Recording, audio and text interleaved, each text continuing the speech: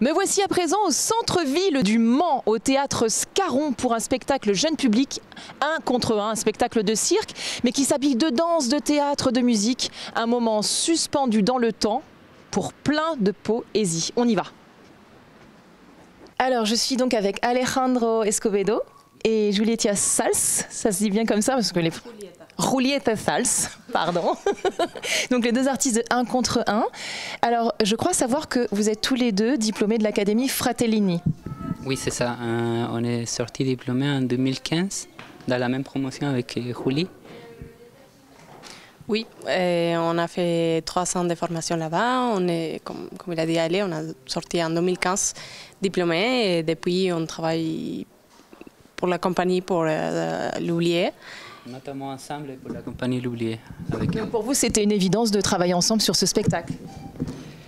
Et oui, en fait, c'est surtout Raphaël qui nous a proposé euh, séparément de, de- faire ce duo. Et bah, moi, tout de suite, j'étais très content. euh, déjà parce que je connaissais bien euh, Julieta, parce qu'on travaille aussi dans un autre spectacle de la compagnie qui tourne depuis 2015. Et donc là, c'était une belle occasion de, de- de refaire quelque chose, un projet ensemble. Et c'était c'était super. Euh, Vous, vous avez chacun une spécificité. Vous êtes de vrais circassiens. Vous êtes aussi des comédiens. On voit vous danser, mais vous avez quelle spécialité, vous, en- dans le cirque? Alors moi, j'ai appris à faire du cerceau aérien. Donc euh, voilà, même si dans les spectacles, il n'y a pas vraiment des objets de cirque, euh, des agrès de cirque, mais on retrouve beaucoup de vocabulaire euh, qui, qui nous appartient à cause de notre métier. Voilà. Et vous, Alejandro? Moi, je suis jongleur et clown aussi, mais pour moi, c'est deux disciplines qui ne se finissent jamais. C'est une recherche content- constante. Donc, c'est, c'est, on va dire, les deux, deux disciplines que je développe le plus. Alors, est-ce que vous pouvez raconter à nos téléspectateurs de quoi parle ce spectacle? C'est quoi l'histoire, en fait? Alors, c'est un spectacle qui est très librement inspiré du mythe d'Orphée et Eurydice. Et euh, donc, le voyage aux enfers et la recherche de se, de se retrouver. Euh, mais c'est très, voilà, vraiment inspiré très librement de, ces mythes-là. Et, voilà, c'est la, la, recherche de la liberté et, la retrouvaille entre deux personnes. Justement, dans le spectacle, ce qui est assez magique, c'est qu'on vous voit évoluer. Alors, vous, par exemple, Julieta, avec, il y a plusieurs objets qui sont modulables, et notamment un portant. Et on a l'impression que vous marchez dans l'air. Enfin, vous faites ça avec une dextérité, une facilité déconcertante. C'est un travail, j'imagine, qui doit prendre des heures et des heures. C'est un peu comme le cerceau, non? On retrouve votre travail. Bah, en fait, voilà, comme euh, c'est ma pratique, on n'a pas passé euh, tant, autant de temps que, que ça, euh, parce que voilà, c'est la matière que, que- que j'ai étudiée et que, et que ça m'appartient. Donc, euh, on a passé pas si temps, pas, ah, comment pas beaucoup de temps en fait. Et, c'est venu assez rapidement les portants. Il y a des autres scènes qui ont pris plus de temps. Et, Comme lesquels, par exemple? Et la scène de Ne me, ne me regarde pas, où euh, je suis derrière Alejandro, celui-là. Il a beaucoup de pas de bras très rapides et on a, cherché plein de fois, les, surtout les débuts de la scène. Donc, euh, oui, ça a pris un peu plus de temps. Je crois que tous les, tous les, on va dire, tous les tableaux, on est tous les deux en- ensemble, vraiment ensemble. Je crois que ça prend plus de temps. Parce que c'est vraiment, on passe beaucoup de temps à improviser. On, réfléchit, on réfléchit en improvisant et en cherchant avec le corps, mais aussi en restant cohérent avec l'histoire et aussi avec, ce que Raphaël, euh, et ça les convient en fait.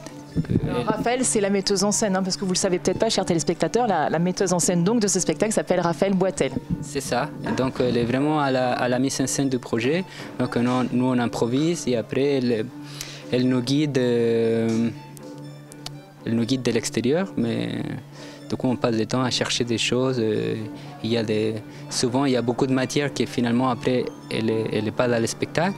Du coup, parce qu'il faut affiner jusqu'au bout, euh, elle, est- elle va affiner avec nous. euh, Donc, C'est un spectacle évolutif, donc si vous l'avez vu une fois, il faut venir le revoir parce que c'est jamais le même spectacle. Non, non, non. Ah non, peut-être j'ai mal dit. C'est toujours le même spectacle. Après, forcément, il évolue parce que euh, chaque année, ça, nous, on trouve des nouvelles sensations, des, dynamiques différentes. Et du coup, elle, elle, est là tout le temps aussi pour retoucher, en fait. Pour, alors vous, Alejandro, vous, on l'a dit, vous êtes jongleur et justement à un moment donné dans le spectacle, on vous voit jongler carrément avec des vêtements et ça doit être assez compliqué à gérer la matière. C'est un temps de pratique, il faut pratiquer et, ça reste des jonglages, pas forcément avec des balles on va dire, mais ça reste des jonglages et c'est la, la, manipulation d'objets. Donc euh, ça prend un temps. Je dis, le plus compliqué, je trouve qu'il y a la technique, mais aussi les jeux, de comment, tout ce tableau, c'est vraiment chercher euh, les personnages, Julieta. Du coup, je passe à, chercher, donc être bien dans l'intention, je pense que c'est parfois plus difficile que vraiment la technique de jonglage. Alors, ce qui est assez fabuleux, ce qu'on a vu là, c'est les réactions du public, parce que c'est un spectacle jeune public. Pour autant, il y a les parents, les enfants, donc il y a plusieurs lectures dans ce spectacle. Et alors, les enfants, c'est instantané, ils rigolent, et les parents sont très à l'écoute. En tout cas c'est hyper agréable de pouvoir entendre les rires euh, et c'est souvent les rires des adultes et des enfants ils tombent pas toujours au même endroit donc c'est hyper agréable de, voir tous ces, ces différences et et on a joué pour. C'est un spectacle un peu pour la famille, en fait, parce que c'est tous les âges, je pense qu'ils peuvent euh, apprécier. Après, chaque âge apprécie une chose différente, mais c'est très visuel, donc euh, les adultes, ils vont peut-être euh, voilà, être beaucoup plus dans, dans, un intérêt plus plastique et les enfants ils vont rentrer dans l'histoire avec les personnages donc je pense que oui voilà c'est vraiment pour la famille et que et, on l'a joué déjà 65 fois à peu près. Aujourd'hui, c'est vraiment fantastique pour moi qu'il y a vraiment ce mélange entre des enfants et des adultes, parce que c'est la, croissance des, deux, bah, c'est ce qu'il dit Julieta, c'est vraiment trop bien ce mélange en fait pour ce, pour je pense alors il y, a quand même y a la musique aussi qui vous porte. C'est une musique qui a été composée spécialement pour le spectacle ou c'est une musique que vous avez choisie? Alors oui, c'est le compositeur qui travaille pour la compagnie, ça s'appelle Arthur Gerson. Il est très doué. Alors, euh, vous aujourd'hui, vous avez vu, euh, la, parce que cette pièce, il a deux, euh, deux versions. Donc, il a la version avec la musique enregistrée, que déjà la musique elle est magnifique.